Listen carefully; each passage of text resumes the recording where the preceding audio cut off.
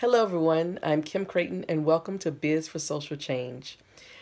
I created this channel and the handles and everything that go with it because as I've traveled the world speaking at technology conferences over the last two years, talking about how we can make our organizations and communities healthier, more inclusive, more diverse um, for all people involved, I it felt very reactive. It felt I was always putting out fires. And I'm not a reactive person. My motto in life is do I want to be happy or do I want to be right? And happy often, more times than not, thankfully, wins out.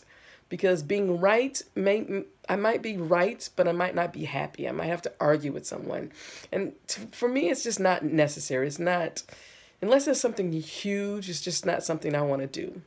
So, um, thinking about a more proactive way of improving technology communities and organizations, specifically organizations, I decided to start Biz for Social Change, so Business for Social Change.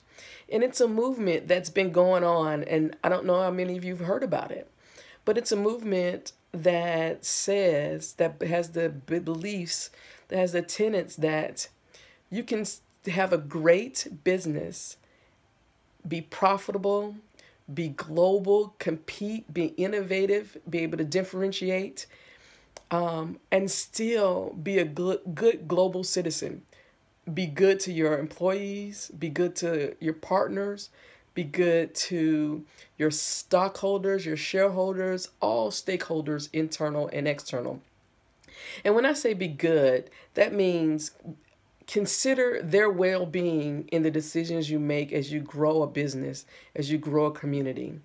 Will all of their um, needs and wants be taken care of every time? No, because that might not be in the best interest of everyone or best interest of the business. Because, bottom line, for it to be a successful business, it has to make a profit.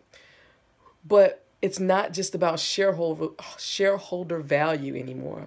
It's not about just looking at those few people who bought into the company early on or whatever and considering their needs. It is considering all stakeholders' needs, as I say, internal and external. And the data shows that when you do that, businesses that do that do well. Businesses that can differentiate themselves as doing good for all stakeholders can charge more because um, they're not competing on price. Um, they have great customer service. They have fans as customers, people who go out and tell their story, and they don't have to tell their story because their customers are telling their story. And so that's what Business for Social Change is. And for the next 365 days, I'm going to take you on a journey with me as I build Business for Social Change as a business um, as a media platform, as an education platform, as an advocacy platform.